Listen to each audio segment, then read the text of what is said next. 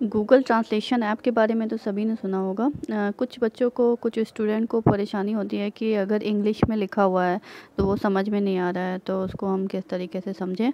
तो अगर आपके पास कोई समझाने वाला नहीं है तो आपके पास गूगल ट्रांसलेशन ऐप होगा या अगर नहीं है तो आप प्ले स्टोर पर जाके गूगल ट्रांसलेशन ऐप डाउनलोड कर लीजिए।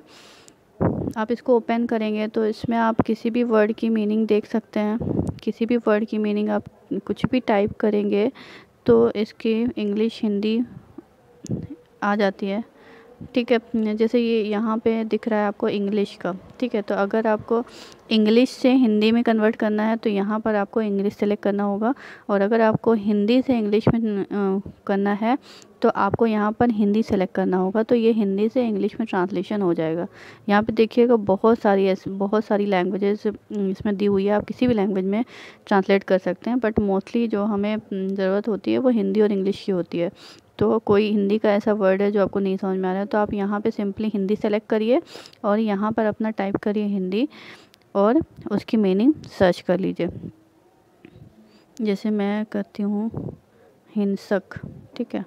हिंसक, ये आपका हिंदी वर्ड है तो हिंसक का देखिएगा इंग्लिश मीनिंग आ गया है वायलेंट उसी तरीके से अगर आपको कोई इंग्लिश मीनिंग है, जो कि नहीं समझ में आ रही है तो यहाँ पर आपको सेलेक्ट करना होगा इंग्लिश और आपको यहाँ पर टाइप करना होगा, जैसे मैं टाइप करती हूँ प्रोविज़न ठीक है? प्रोविज़न तो यहाँ पर आप लिख कर क्लिक करिए तो इसकी इंग्लिश है ये तो इंग्लिश का हिंदी मीनिंग आ जाता है। और इसमें एबसेंट भी दिया है कि किस तरीके से इस पर्टिकुलर वर्ड को हम उसका इस उच्चारण क्या होगा, किस तरीके से प्रनाउंस करेंगे। और यहाँ पर देखा होगा रिकॉर्डिंग अगर आप इस पर प्रेस करेंगे तो वो बोल कर भी बताएगा कि कंप्यूटराइज वॉइस निकलती है कि इस पर्टिकुलर वर्ड को हमें किस तरीके से बोलना है। तो ये सारी अगर आपके पास इंटरनेट है तो ये Google translate Google translation best है। और इसमें और भी फीचर्स हैं, जैसे कि ये कैमरा दिया हुआ है। तो अगर आपको कुछ समझ में नहीं आता तो आप सिम, बुक पढ़ रहे हैं, बुक में नहीं समझ में आ रहा है तो सिंपली कैमरे पर टच करेंगे। तो अगर आपको कोई बुक है, नहीं समझ पा रहे तो वहाँ पर सिंपली इस तरीके से क्लिक करेंगे। इस तरीके से स्कैन करके, इस तरीके से स्कैन करके आप सिंपली पढ़ सकते हैं। इस तरीके से स्कैन करके आप सिंपली पढ़ सकते हैं यहाँ पर।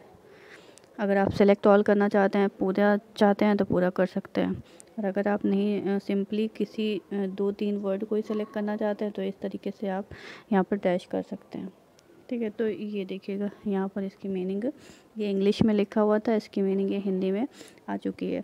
ठीक है तो इस तरीके से हम सिंपली पेज के ऊपर इसको रख कर इसकी हिंदी और इंग्लिश ट्रांसलेशन कर सकते हैं। ये आप, ये बुक मेरी इंग्लिश में है बट इसमें देखिएगा, इसमें हिंदी में सब कुछ दिखा रहा है। तो आप इस तरीके से सिंपल स्कैन करके भी देख सकते हैं, और प्लस अगर आपको नहीं समझ में आता है इस तरीके से तो आप सिंपली क्या करिए, आपको कोई पर्टिकुलर टेक्स्ट की ही मीनिंग चाहिए तो आप सिंपली अपना कैमरा ओपन करिए।